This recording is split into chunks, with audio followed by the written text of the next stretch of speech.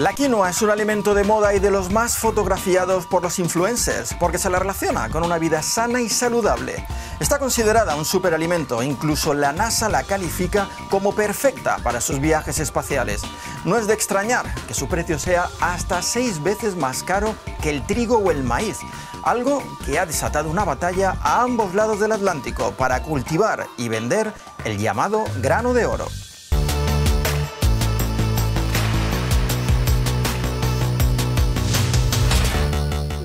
Este es nuestro protagonista de hoy, la quinoa, un grano típico del altiplano andino cuyo cultivo sustenta a cientos de miles de familias indígenas. Hace tan solo cinco años, la producción de quinoa de Perú, Bolivia y Ecuador representaba más del 90% de la producción mundial.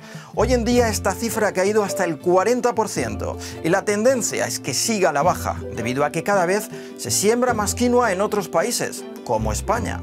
Hay agricultores que ya están sembrando y que quieren aumentar la superficie a lo mejor un 20, un 30% más de lo que están sembrando.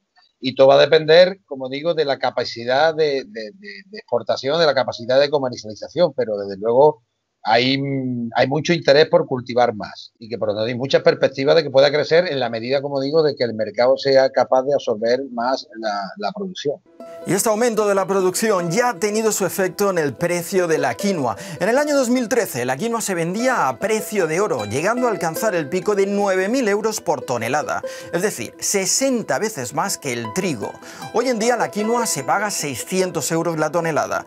Se calcula que en dos o tres años podría dejar de ser rentable cultivarla en el altiplano andino.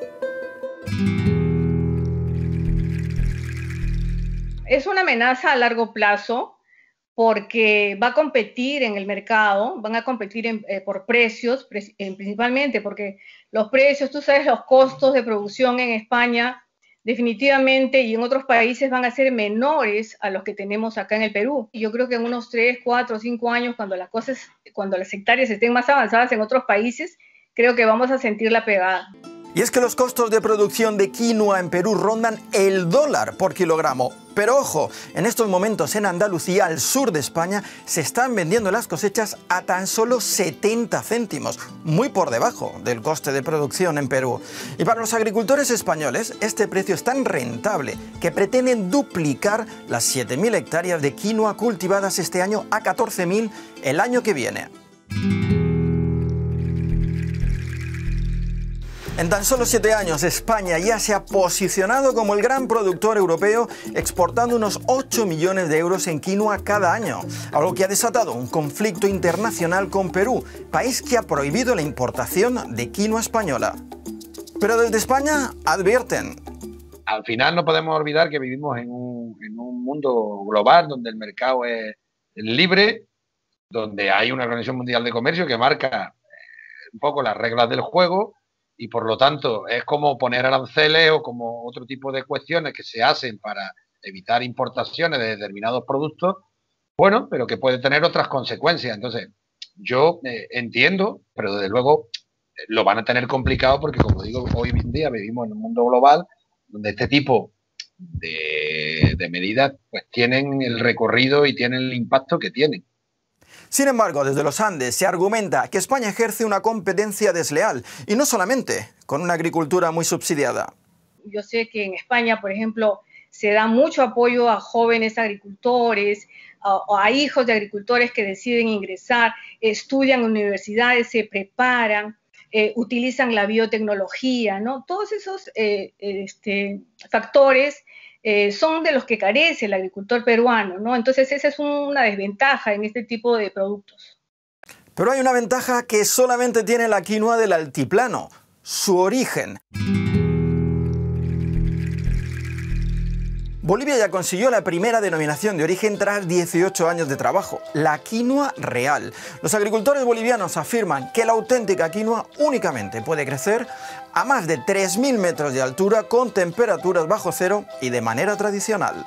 Hoy día Bolivia está abocada a mostrarle al mundo y a decirle al mundo, primero, que, ojo, no, quinoa no es quinoa en general, hay muchos tipos de quinoa. Segundo, el centro de origen de la producción de quinoa es la zona andina.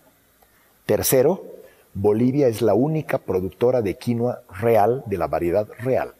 Pero España cuenta ya con al menos 17 variedades de quinoa puramente española y sus agricultores defienden las propiedades de este grano criado a nivel del mar y avalado por los mercados. Hablo de, comercializadores que hablan, que, o sea, que exportan quinoa a toda Europa, a Japón, a China, Australia, Estados Unidos y si se exporta esa quinoa y hay esa demanda es porque las características que tiene la quinoa son buenas y, por tanto el mercado las demanda. Si no fuese quinoa o no tuviese las mismas características o incluso en algunos casos incluso mejores que algunas de las que se producen en, Perú o en Bolivia, pues no estaría demandado por el mercado. Y España no es la única competidora de la quinoa andina. Alemania, Estados Unidos, Australia o China ya están experimentando con este cultivo. Si los países andinos quieren seguir compitiendo, tendrán que buscar su sello de calidad con una quinoa con denominación de origen orgánica, artesanal y de alto valor en el mercado. Y tendrán que hacerlo rápido, porque Andalucía se convierte paso a paso en territorio inca y pronto podría conocerse más por la quinoa que por su aceite de oliva.